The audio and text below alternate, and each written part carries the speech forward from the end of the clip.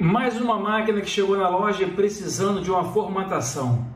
Chegou aqui com HD queimado, nós já substituímos e vamos fazer uma formatação nessa placa-mãe ASRock N68-S3FX, que a gente vai pressionar agora a tecla Del para a gente poder acessar o BIOS dessa placa-mãe.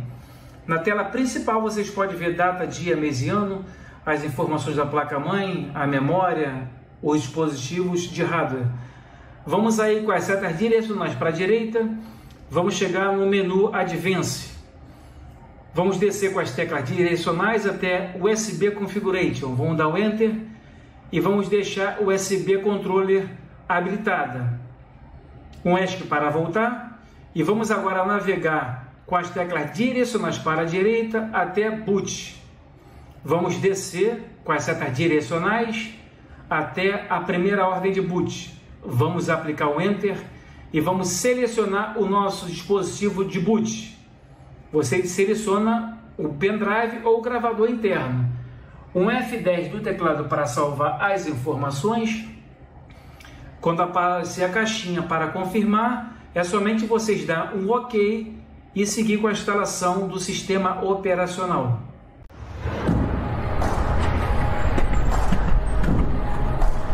E vamos colocar em português Brasil ABNT2 e vamos dar um clique em avançar. Vamos clicar em instalar agora. Nessa janela informa para a gente poder ativar o Windows. Aqui um serial válido. Se você fez a compra do produto, digita o serial aqui e em seguida vocês clicam em avançar. Escolha o sistema operacional que você quer instalar na sua máquina. Vamos selecionar uma versão e clicar em avançar. Esses são os termos de licença do Windows, da Microsoft. Então vamos aceitar os termos e clicar em avançar. Que tipo de instalação você deseja? Tem a atualização e a personalizada. Vamos dar um clique aqui em personalizada. Onde você quer instalar o Windows na sua máquina? Aqui é a área do disco rígido. Pode ser o seu SSD ou o seu HD. Você seleciona qualquer partição, clica em excluir e OK. Vamos para a próxima partição, selecionando, excluir e OK. Outra, excluir e OK. Então, o nosso disco rígido ele está como não alocado. Nós temos que criar uma partição primário e uma partição do sistema. Para isso, nós vamos clicar aqui em novo Vamos clicar em aplicar. Em seguida, vamos clicar em OK. Foi criado uma partição do sistema e uma partição primária. Com a partição selecionado, vamos clicar em avançar. Vem os status. Copiando os arquivos do Windows 100%, passou direto porque nós zeramos o nosso disco rígido, não tem nada para copiar. Ele avançou rapidamente. Agora ele vem preparando os arquivos para instalação de 0% até 100%. Depois ele vai instalando recursos, instalando atualizações e concluindo. Já alcançamos 29% da cópia dos arquivos, por enquanto está indo bem a cópia dos arquivos. Nesse momento, pessoal, enquanto ele está copiando os arquivos, não pode ter nenhum travamento. Essa fração que vocês estão vendo em tela que está prosseguindo 30, 31, 32, ele vai corrido, ele não pode haver travamento nessa porcentagem. Ó, já alcançamos 34%. Então ele vai até 100% assim suave. Uma suposição, ele chegou em 39% e travou não sai mais, é porque o seu disco rígido, tanto HD ou SSD, ele está com algum problema e o sistema não está conseguindo enviar as cópias dos arquivos para o seu disco rígido. Aí o que, que você vai ter que fazer? Você vai ter que substituir o seu disco rígido. Que o seu tem que ir conforme esse meu aqui está indo. A fração vem seguindo a 42%. Vocês estão vendo que eu começamos, começamos em 30 e poucos por cento já está em 43%. Então dessa maneira que a fração da cópia dos arquivos de vocês também tem que ser. Então vamos aguardar pessoal, cópia dos arquivos aí para a gente prosseguir com a instalação do novo sistema operacional Windows 10.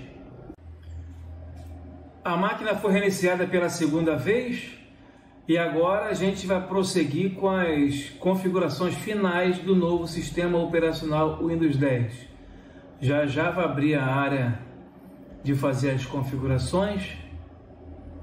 Aguarde um momento para a gente poder finalizar. Agora vamos fazer uma carreira agora de configuração dentro do novo Windows.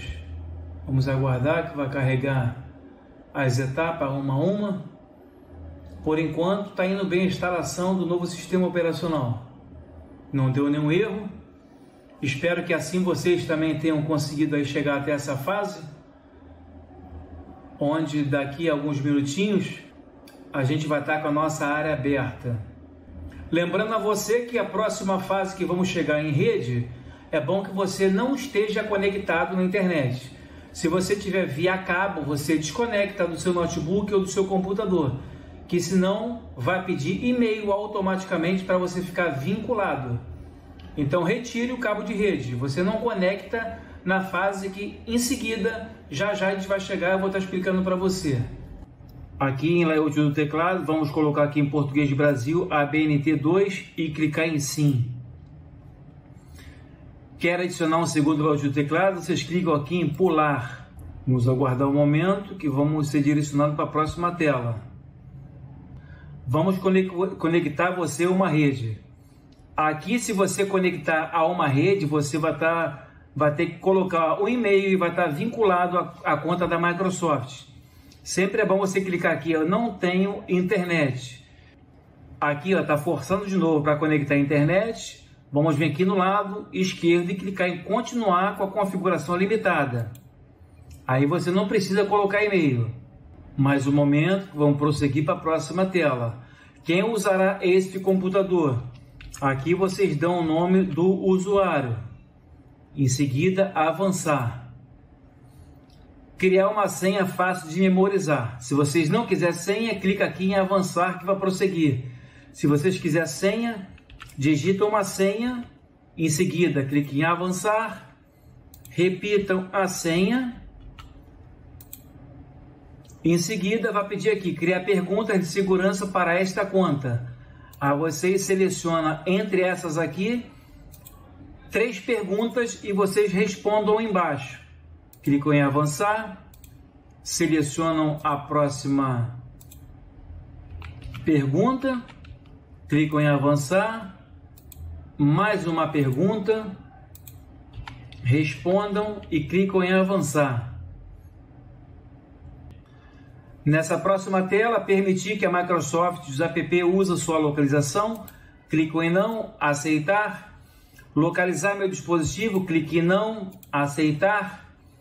Enviar dados de diagnóstico para a Microsoft, clico na última, aceitar aprimorar a escrita, a tinta, a digitação, vocês clicam aqui em não, aceitar, tem experiência personalizada com dados de diagnóstico, clicam em não, aceitar, permitir que os apps usem a ID de anúncio, clicam em não, aceitar, e para finalizar agora aqui é a Cortana, deixe a Cortana ajudar você em suas tarefas, esse recurso aqui é muito pesado, é bom vocês clicar aqui em agora não, então foi concluído mais uma formatação com sucesso.